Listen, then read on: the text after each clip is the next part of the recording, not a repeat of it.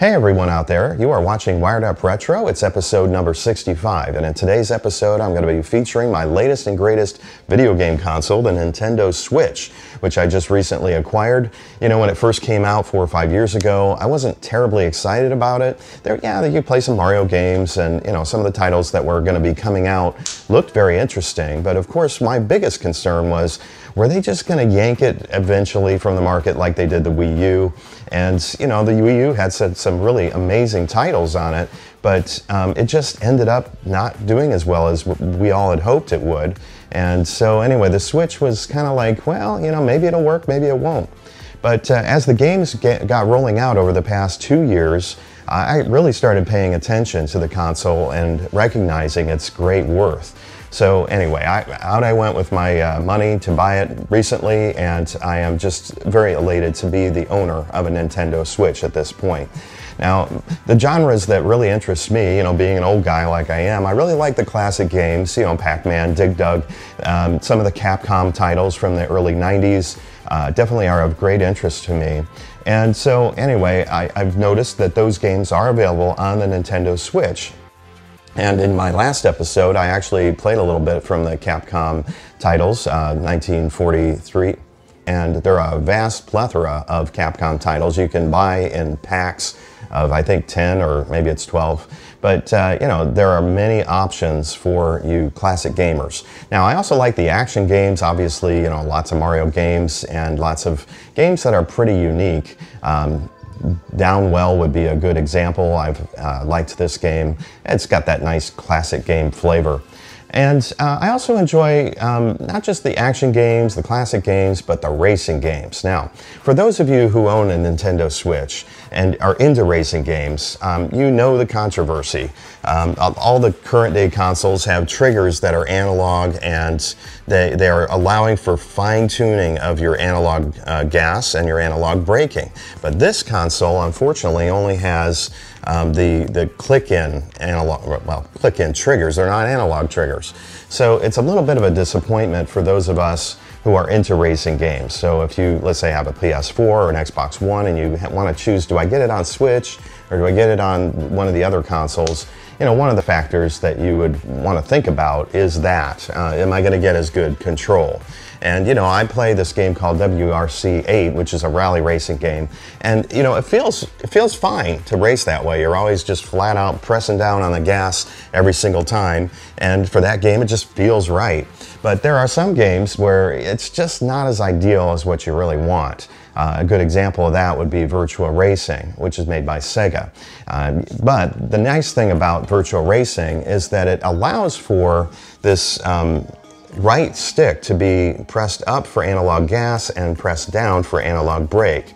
So there is more graduated uh, control using this uh, method. And so it's nice that they incorporated that into the game system, and I, I really like that about it.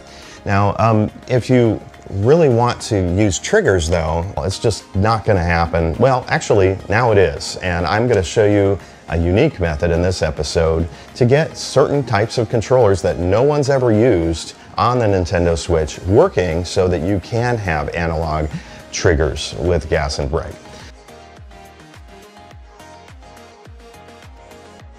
Well, firstly, we're going to be using some unique controller adapters. This is for the Switch. It's called the Mayflash Magic NS controller adapter, wireless controller adapter.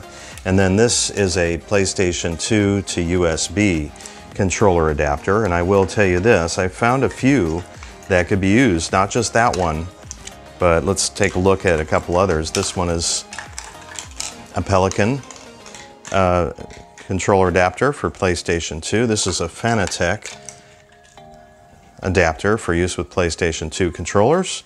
And then this is a cheap Chinese unique looking one that uh, also works. There are a few that didn't work, which I'm showing an image of right now. So yeah, don't use those. But yeah, these are the ones that do work along with this Magic NS made by Mayflash. So let's go ahead now and uh, I'm gonna just leave the, the first one I had on here. And I want to show you the controllers that will work. Now you have to select the right PlayStation 2 era controller.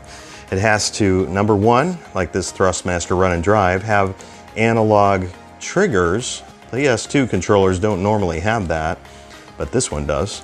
And it also has to have programmability uh, on board that enables you to program the um, up and down right stick action for gas and brake to the left and right triggers that are analog. So it's got to have those conditions met. This is the wireless version of Thrustmaster Run and Drive, and that's the wired version. By the way, these have a unique gimmick in that it has like a little paddle that swivels, and it's for, you know, driving games. Is it awesome? Nah, not really, but uh, I like the thumbstick playing the racing games actually better than the swiveling, but some of you might like that better. Um, it just depends on the person, I suppose, preference. Now there's another controller that is, comes from the PlayStation 2 era, and it's called the Fanatec Speedster controller. Now this also has a unique um, couple of things here. One gimmick is that it swivels, okay? And I did a review of this many years ago, and I'm going to put a link in the description of my review of the Fanatec Speedster when I was kind of new at doing reviews. Anyway, it's kind of funny to watch uh, me back in the old days. So anyway, um, another nice feature about this, by the way, I, I, don't usually use the swivel. I usually just kick it into the lock and uh, don't use the swivel. And then I use, um, there we go. Then I just use the thumbstick for, for doing the left and right steering. But here on the back, you have this, which is an analog for gas, and then this for an analog for a brake. These triggers, they're actually kind of reversed in the way they're set up, but it feels all right when you're playing, and they don't have a lot of travel, so the, um, the throw is minor. I guess it would have been better had they made it with a little bit more throw, but it is analog, so it'll get the job done. And so, um, yeah, it's a wireless controller just like the Thrustmaster Run and Drive Black controller. So pretty cool. Anyway, um, the this also has that unique feature of having that thumbstick be translated over to gas and brake on the triggers, okay? And uh, you have to get it kind of preset and pre-programmed uh, beforehand, but there's a, I, mine came with a booklet, fortunately, so I could accomplish that uh, using the instructions. And I could show you how to do it, um, probably just in the description below. You can take a look at that. Um, you might say, what in the world is going on here? Well, I think it, it's because it's kind of designed to not just be for racing games, but maybe for fighting games where you want to get perfect diagonals, and that allows for perfect diagonals. It's it's kind of crazy looking, but uh, yeah, I guess no other controller really tried that, so might as well try it, right? Fanatec thought so. All right, so anyway, getting back to this Mayflash Magic NS, this actually not only works on Switch, but it's PC compatible and it also works on the Neo Geo Mini. So kind of a unique product. And uh, I, I really think that this product has a lot of stuff going on. It's wireless compatible. It's got these different modes. Um, there's a, a, light that blinks if you're in uh, let's say the red mode, you're set up to be working on a switch. There's also a purple mode for the Switch Pro controller mode. All right, so you get the idea. All right, so let's go ahead and show a couple of games. Um, there's not just Virtua Racing that works in that way with the right stick being for gas and brake, but there are a number of other Switch games that have that uh, built in or you know pre-programmed so that you can select it as an option in your racing controls. So that's going to work well for our project today. All right, so I have the Magic NS plugged into the side of my Switch, and I've also got my Fanatec uh, PlayStation 2 to USB controller adapter plugged into that. And I've got this set up so that the triggers now represent the up and down of the right stick. So let's get playing this game. This is Rise Race the Future. And we'll go ahead and try one of the challenges. Okay, so the uh, tachometer will be down there in the bottom right. Halfway, all the way, full-fledged. You could definitely control how much revs and uh, kind of feather the throttle. And yes, I am a car traveling on water right now. I did feather it there and it helped. Now I'm feathering it again. When you're on water, it's pretty floaty. you can slide very easily. So feathering, feathering that throttle in this game is uh, almost, I would say, it's almost a must.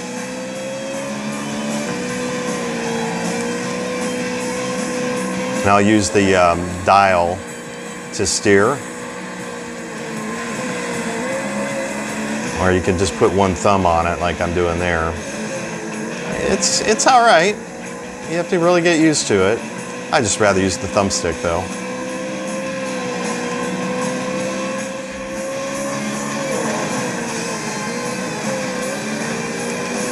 All right, so let's move on to uh, Virtua Racing. I'll show you that. Okay, I got Virtua Racing up on the screen and my wireless run and drive controller is uh, now preset to do the analog gas and braking with the triggers.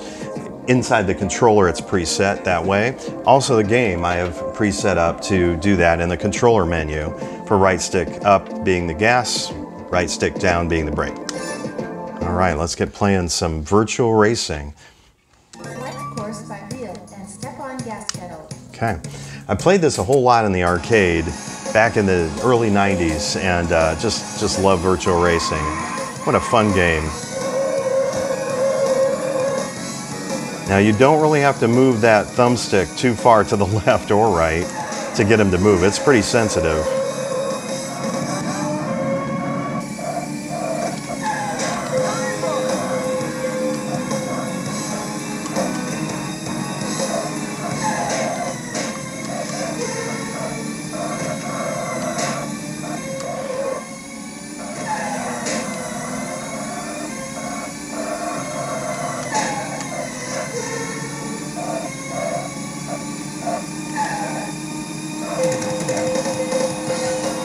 Right, let's move on to our next racing game. Show you another one that has this option of using right stick for gas and brake. All right, I'm going to give Rush Rally 3 a try. I really like this game. It has um, very good control and I like the graphics. It's kind of got those PlayStation 2 type graphics, pushing PlayStation 3 type looking graphics. And I think it's awesome that this game, Rush Rally 3, was programmed, from what I understand, by one individual who uh, obviously sunk his life into doing this the right way. And it controls really well. So I've got my Fanatec adapter hooked up to my Mayflash, and this is a wireless controller, the Fanatec Speedster. It's going to be offering us nice analog control in many ways. These triggers. Three, two, one, go. So I'm just using that thumbstick to control.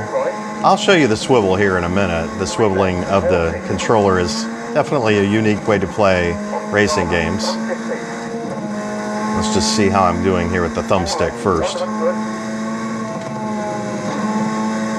left, four six, five right, one fifty. Hairpin left.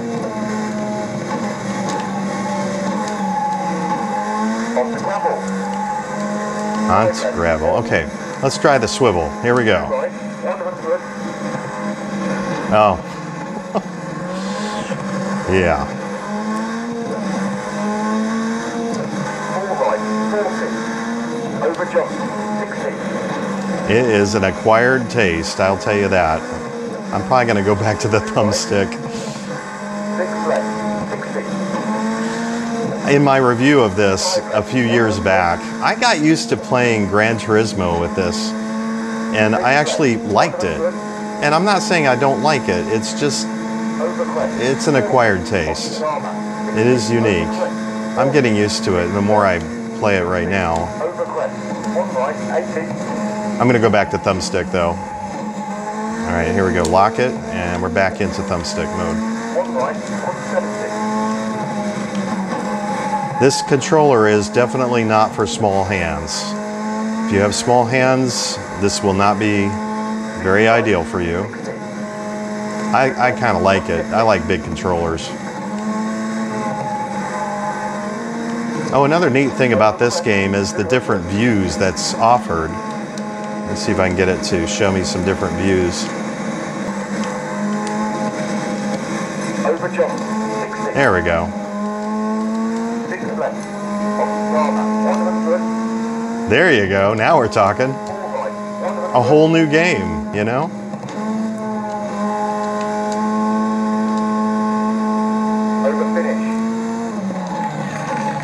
Anyway, pretty awesome. And I'm really enjoying this controller. I do need to get a little better at this game though. So I decided to stick with this game. I'm not going to be playing with this controller, but I tried another one. Actually, um, this one is from the PlayStation 1 era. And when I have it in that blinking red mode for the Switch, it doesn't work properly. So I decided to try Switch Pro Controller mode, which is a purple or lavender colored blinking mode. So I switched it over to that. It's working. So this controller is very unique. It's called the Mega Racer. It's got a dial for your thumb to, to press left and right like you would a thumbstick. If you're at the top of it, just swivel it back and forth like you would a thumbstick. But the analog gas and brakes, instead of being up here on the triggers, you've actually got push-in buttons, gas and brake. And these are analog, so they have a like a spring in them. So pretty awesome little gamepad for playing a game like this. Here we go. One. Go. Off